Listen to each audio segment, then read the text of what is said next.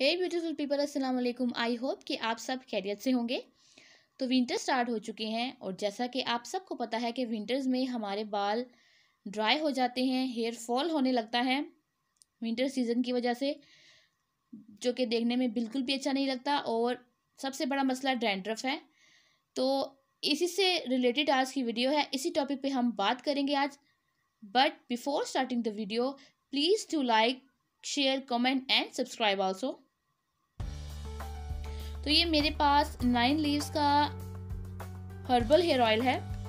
Nine leaves इसका नाम इस वजह से है क्योंकि इसमें नौ तरह की जो है वो हर्ब्स यूज़ की गई हैं, नौ तरह की जड़ी बूटियाँ यूज़ की गई हैं, जो कि हमारे बालों की ग्रोथ में, हमारे बालों को शाइनी बनाने में बहुत ज़्यादा हेल्पफुल होंगी और इसमें किसी भी किस्म का जो है वो हमें ऑयल ऐड करने की ज़रूरत नहीं पड़ेगी क्योंकि इसमें उन्होंने नाइन हर्ब्स पहले से सारे शामिल किए हुए हैं। तो उन्होंने पीछे मेंशन भी किया हुआ है कि कौन कौन से हर्ब इसमें उन्होंने ऐड किए हैं। तो सबसे पहले है सरसों का तेल, जो कि हमारे बालों को बढ़ने में मददगार है। And the second is aloe vera जो कि हमारे बालों से डेंड्रफ को ख़त्म करता है, यानी खुश्की को ख़त्म करता है। और and the third is Hina यानी मेहंदी के पत्ते जो है वो भी इसमें शामिल किए हैं, जो हमारे बालों की जो है वो नशोनुमा करेंगे। उसके बाद है इसमें आंवला जो कि हमारे हेयर फॉल को रोकता है, बालों को गिरने से रोकता है और नीम के पत्ते इसमें शामिल हैं जो कि सिकरी को ख़त्म करते हैं, यानी कि जो हमारे बालों में डेंड्रफ होती है उसको ख़त्म करते हैं और मेथी दाना बालों को सफ़ेद होने से रोकता है और ब्राह्मी का तेल है जो कि दो मुँह बाल हमारे होते हैं, उनको रिपेयर करता है। सिकाकाई है इसमें जो बेरोनक बालों को जो है वो नशोनुमा देता है।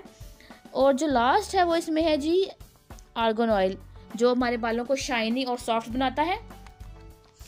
क्योंकि इन्होंने सारे इसमें हर्ब शामिल किया तो इसमें कोई भी हमें ऑयल ऐड करने की ज़रूरत नहीं है। अभी मैंने इसको यूज़ नहीं किया, क्योंकि मुझे भी इसकी ज़रूरत पड़ गई थी तो मैंने सोचा कि पहले मैं इसे यूज़ करूँगी, फिर मैं आपको बताऊँगी कि इसका रिज़ल्ट किस तरह का है। उन्होंने सारा पीछे मेंशन किया हुआ है जी कि इसको किस तरह आपने यूज़ करना है।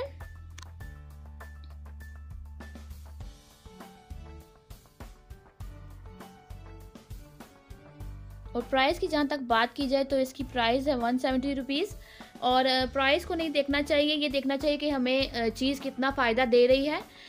और सिंपली जैसे हम इसको हर ऑयल को यूज़ करते हैं, अपने बालों की लेंथ के हिसाब से आपने ऑयल लेना है.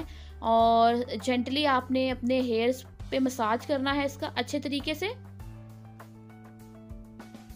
लेकिन अगर आप इसका बेहतर रिज़ल्ट चाहते हैं तो आप इसको रात सोने से पहले यूज़ करें और सुबह इसको जो है वो आप वॉश कर लें तो ये अच्छे रिज़ल्ट देगा। पीछे उन्होंने ये मैंशन किया अभी तक मैंने इसको यूज़ नहीं किया। इन मैं आपको यूज़ करके बताऊँगी कि इसका रिज़ल्ट कैसा था नेक्स्ट वीडियो में। ये देख लें आप, इसकी कंसिस्टेंसी इस तरह की है। जेंटली आपने अपने हेयर्स पे इसका मसाज करना है। तो इसी के साथ वीडियो को करते हैं एंड और मिलेंगे नेक्स्ट वीडियो में इस ऑयल के रिव्यू के साथ। तब तक के लिए अल्लाह हाफिज़ and thanks for watching my videos